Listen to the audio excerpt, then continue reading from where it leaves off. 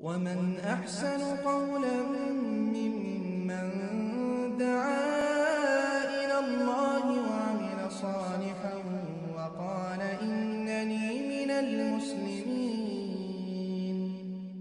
ওয়ালাইকুম আসসালাম রহমতুল্লাহ একদিন বোন আপনি জানতে চেয়েছেন পরীক্ষার হলে যদি কোনো প্রশ্নের উত্তর আপনার না জানা থাকে সেক্ষেত্রে আপনার পাশের জন অথবা আপনার বন্ধু যদি সেই উত্তরটি সঠিক দিয়ে থাকে সেক্ষেত্রে তার কাছ থেকে আপনি আহ, দেখে লিখতে পারবেন কিনা। মানে এক কথায় নকল করা যাবে কিনা।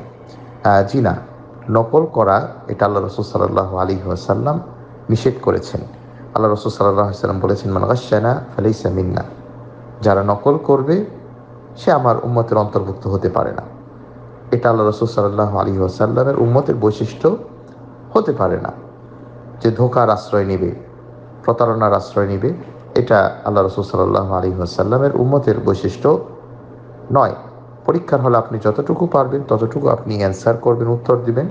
কারও কাছ থেকে দেখে সে যদি অনুমতিও দেয়, তার অনুমতি নিয়ে হোক বা ইচ্ছাকৃত হোক, অনিচ্ছাকৃত হোক, কোনোভাবেই অন্যের খাতা দেখে উত্তর নকল করা যাবে না। এই বৈধতা ইসলাম দেয় না।